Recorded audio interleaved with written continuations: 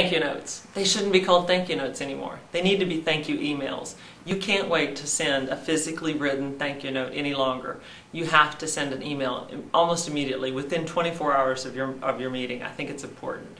And on that thank you email, you need to address how much you appreciated the opportunity to meet with them, how much you enjoyed learning more about the organization, how you think your XYZ will really help them do ABC, and how you're looking forward to talking with them further about this prospect in the future. So a thank you note shouldn't be a thank you note, it should be a thank you email, and do them within 24 hours of your last interview.